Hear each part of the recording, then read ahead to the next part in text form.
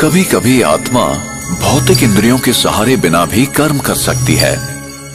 इस घटना को ई एस पी यानी एक्स्ट्रा सेंसरी परसेप्शन अथवा छठी इंद्रिय भी कहते हैं।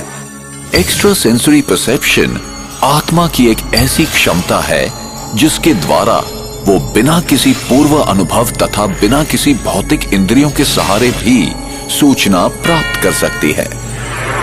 जैसे कि टेलीपैथी, पूर्वाभास, भविष्य जानना, अंतर्ज्ञान और इस तरह की चीज़ें आत्मा के छठी इंद्रिय को दर्शाता है। मैं आत्मा ही संकल्पों की रचना करती हूँ, जो पराभौतिक है।